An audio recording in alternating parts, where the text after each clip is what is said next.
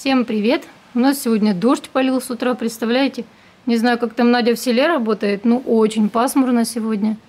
Я с самого утра вожусь на втором этаже, кладовую разбираю и оптимизирую дальше эту зону игровую. Я, в общем, вот эти все игрушки советские, помните моя коллекция? Сейчас протираю полки, сдвинула, кстати, полки для того, чтобы туда воткнуть пианинка Алисе.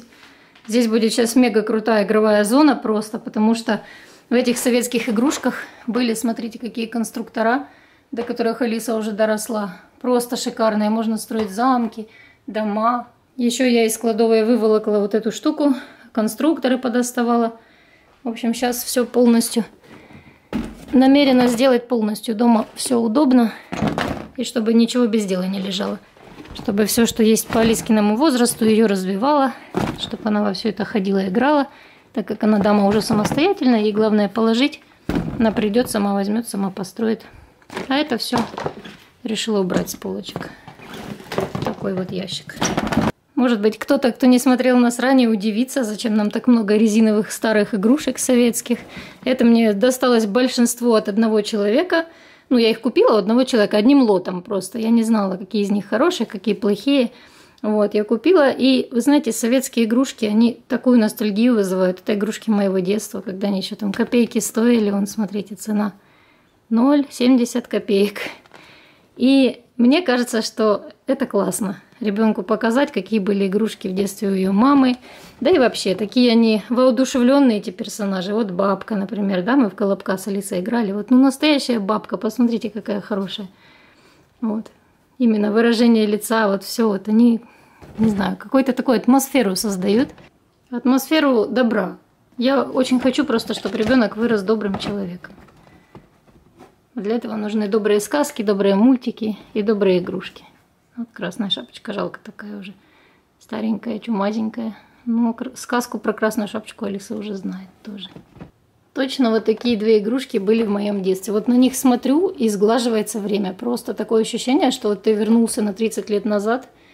И ну, реально, я вам говорю, вот прям такое ощущение, что в детство свое возвращаешься, когда смотришь на то, то, что ты видел в себя в детстве.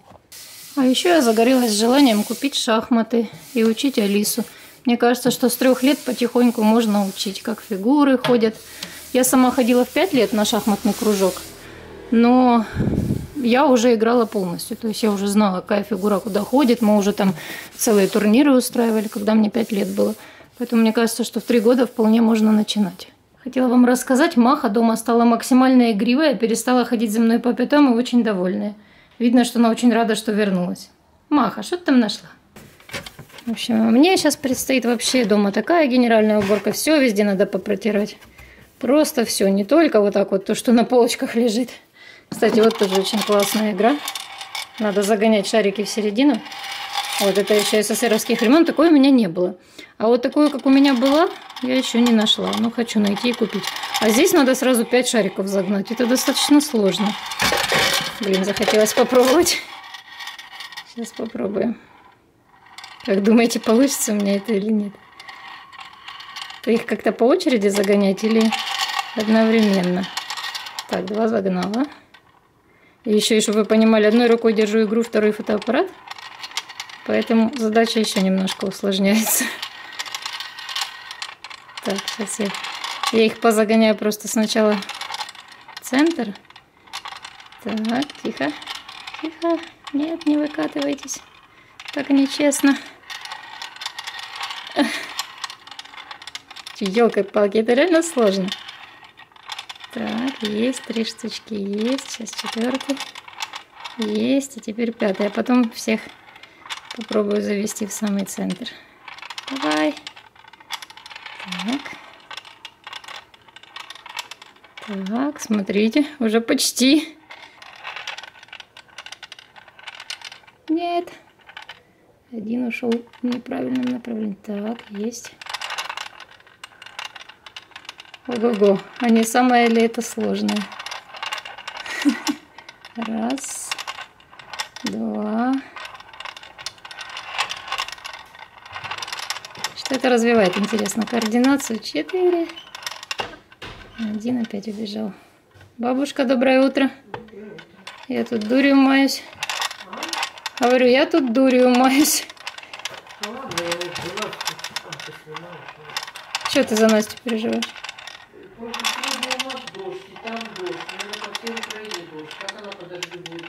Она же не на мотоцикле, а на машине.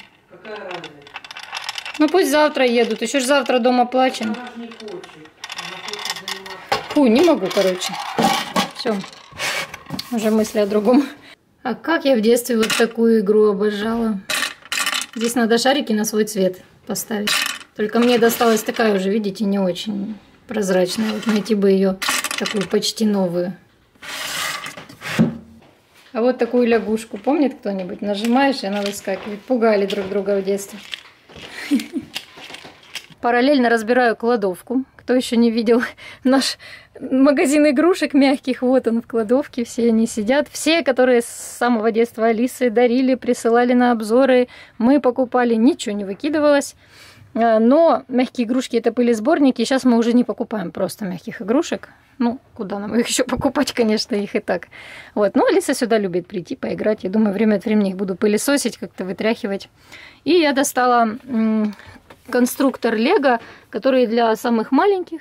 То есть там он идет от двух с половиной, по-моему, лет, или даже от полутора. И... Ой, не падай. Нет. В общем, здесь детали такие достаточно крупные. Я уже его переношу тоже туда, чтобы Алиса им игралась. Уже она стопроцентно доросла.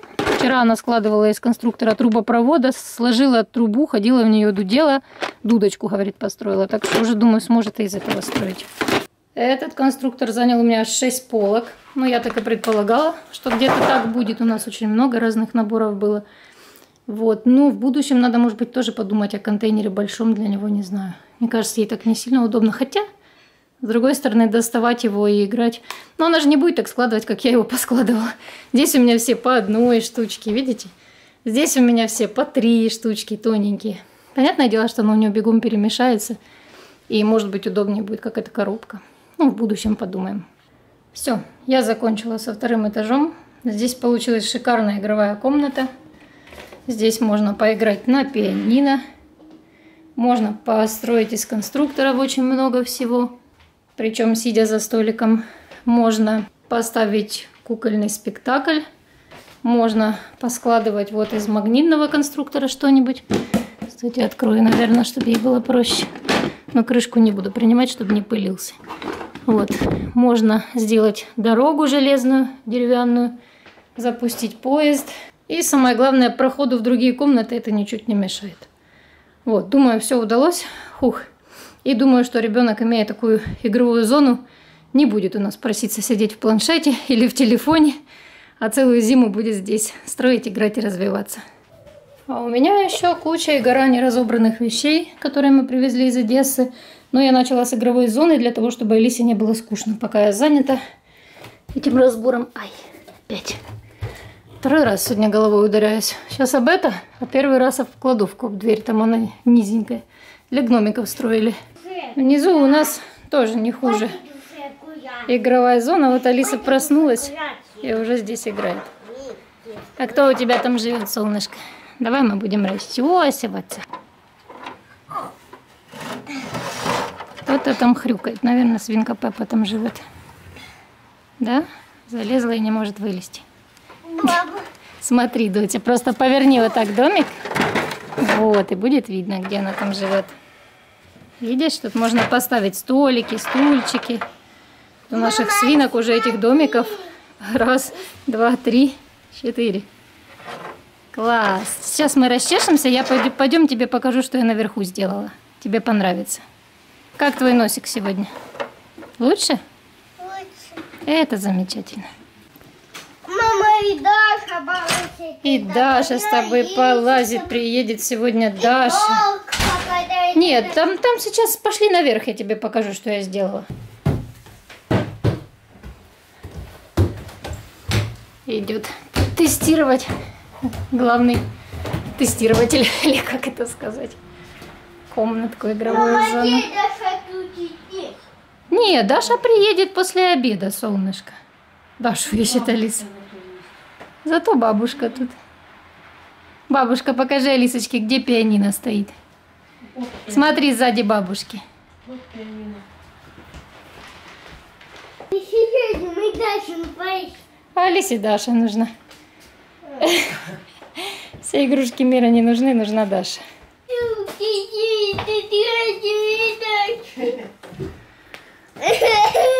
Алисе сказала, что сегодня Даша приедет. Она теперь ее ждет и плачет. Пошли, возьмем зубную щетку, пойдем зубки чистить. У Алисы такая щеточка с зайчиком, таким же, как на пасте. Гляньте. Красивая, да? Даже написано здесь лаколут, как на пасте. Ну все, Алис, Даша скоро приедет. Давай щеточку. Ну, повернешь. Вот так.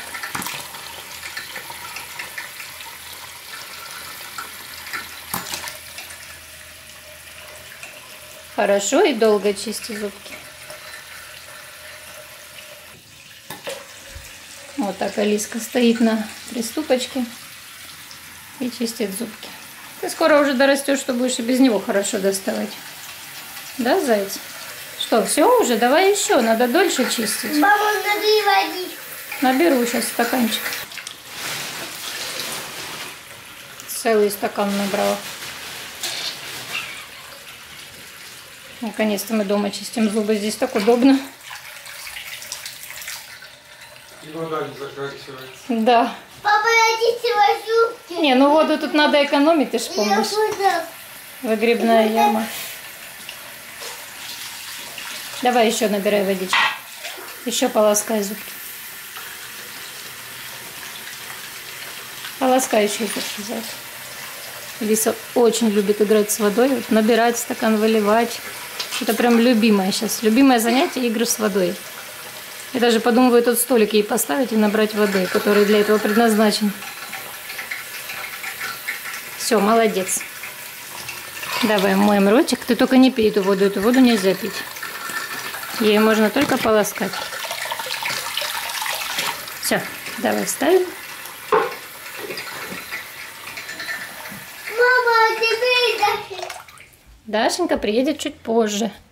Чуть. Да, чуть-чуть позже. Будем Дашеньку ждать. Будем дальше просто. Да. Пошли носик промывать.